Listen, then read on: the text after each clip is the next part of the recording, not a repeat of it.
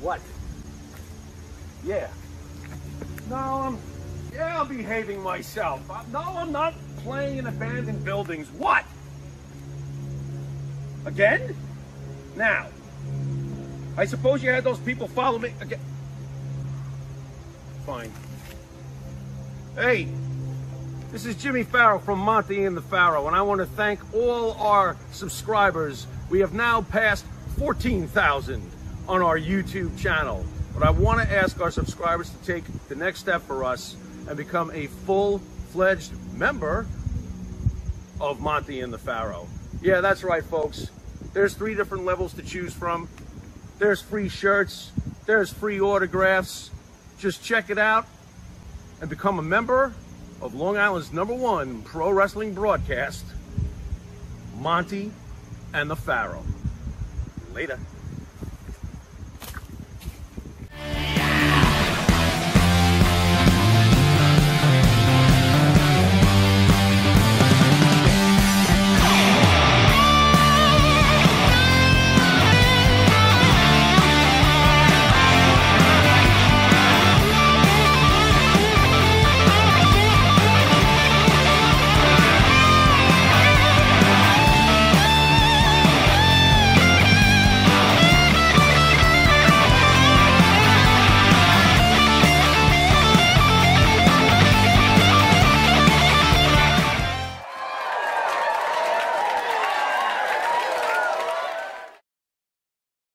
Saw you on the uh, territories uh, program a couple weeks ago.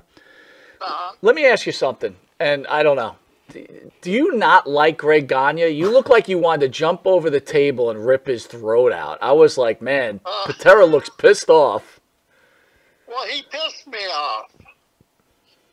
Yeah, we did that. Uh, when did we do that? Back in uh, March or April down in Atlanta.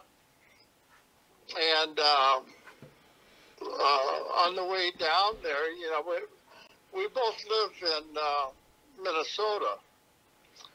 And so we, uh, they booked us on the same flight.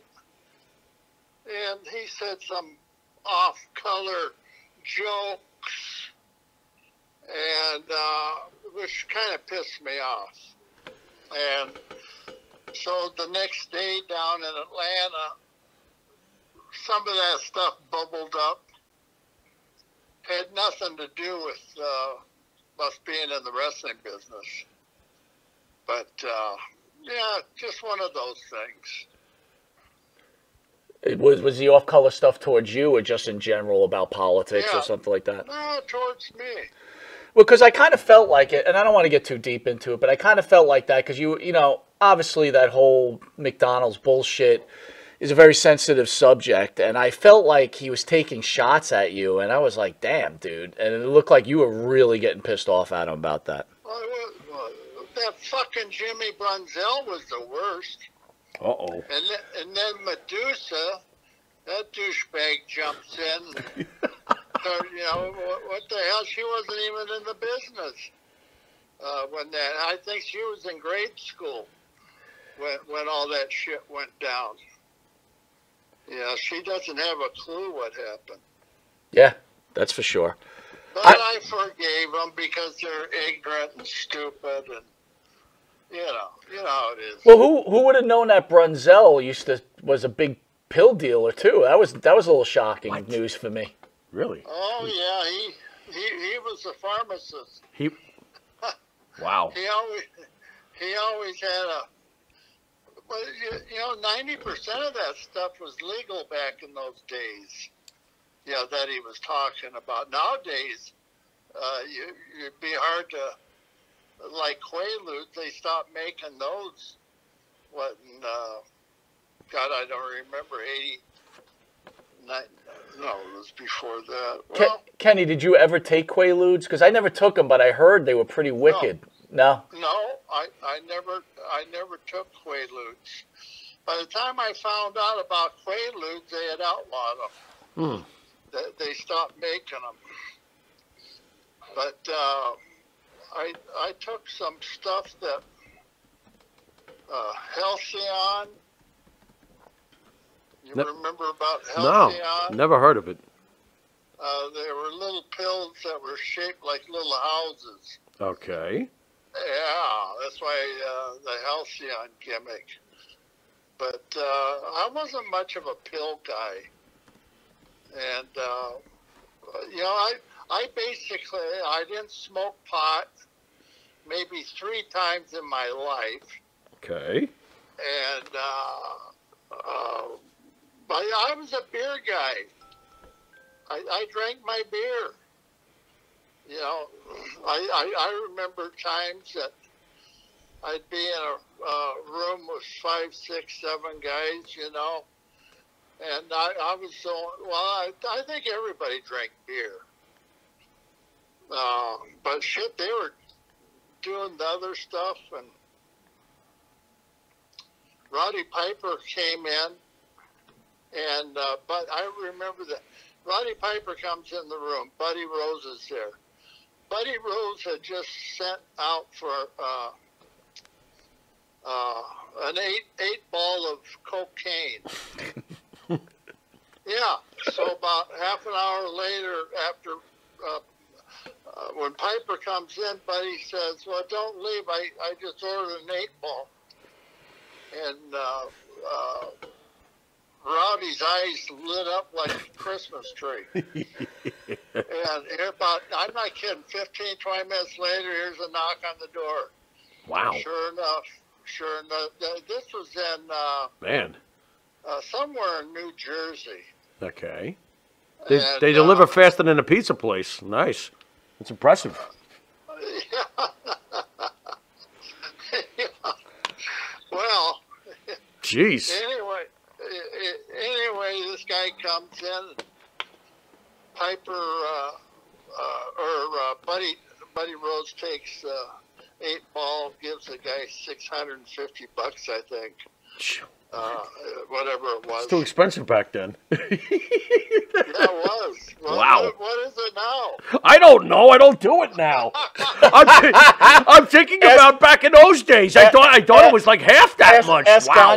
Gagne, and Brunzell. Yeah, yeah. We're, we're, we're- the wrong people are talking. We gotta. By the way, Ken, were you by any chance like also getting pissed at Greg Gagne because he has tennis legs and he was the son of Vern and he's got got away with quite a bit of a push in his career? Or, or am I wrong about that? No, no, that didn't bother me because I knew the business. Yeah. Okay. And uh, okay. I knew Greg. Uh, as a matter of fact, when I was in the 72 Olympic Games over in Munich, Germany, uh, Vern brought the whole family over there. Oh, okay. And uh, yeah, so anyway, uh, Greg, uh, uh, after I competed in the Olympics, a couple days later, we. Uh, uh, Greg says, "Are you going to go anywhere here in Europe?" I says, "Yeah." I'm go jump on a train and not even pay attention.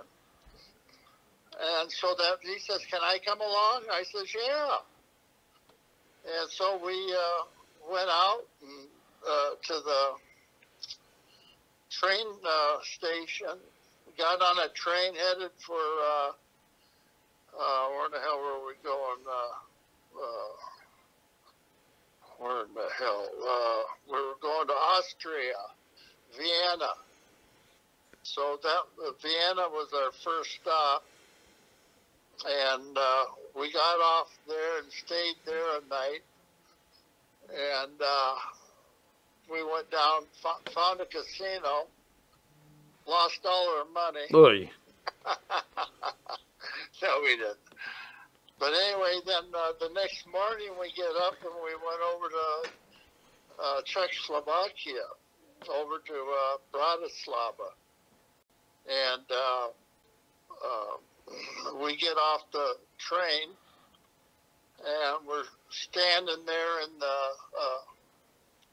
uh, terminal. This girl comes up to me she was a reporter during the Olympic Games, and she she looked just like Sophia Loren. Ooh. I I am not kidding. Wow. Yeah. Yeah. Yeah. Wow. Yeah. So I I she introduces me. I introduce uh, Greg to her and myself, and She says, "Where are you guys staying?" I said, uh, "We haven't made reservations yet." And she says, "Wow, there's not very many rooms around here." So the first night we wound up staying at a resort uh, about 30 miles out of town. It's the only room we could get. So uh, she says, uh, uh, my parents are in town, so I can't have you over to the our apartment. But uh, she gives me her phone number. When you guys get back uh, tomorrow from that resort, call me, and I'll give you some sightseeing uh, tours. So that's what we did. Next day we got back. We called her, and uh, God, she was nice. But the thing is, her her uh, parents were in town. Boy, that's a real PG ending. Anyway. Hey, Ken, Patrick. Rowe, fan out there, wants to know who's the funniest guy you knew in wrestling. Ooh. Oh, there was two of them. It was a toss-up. Bobby the Brain Heenan and Baron von Raschke, the Claw. Baron von Raschke had a sense of humor? Really? Oh, God. Interesting. Yeah, he deadpan you all day long. He'd have you in stitches. Yeah, yeah. What do you have like Uh, a when you say deadpan? What do you have a dry humor? Because Bobby Bobby was over the top. Yeah. What was he like? The opposite approach, but just as effectively funny. Exactly. Nice, nice. Baron von Exactly. Get a load of that. Interesting, interesting. Yeah. Uh, I wanted to, Ken. I'm sorry. I wanted to ask.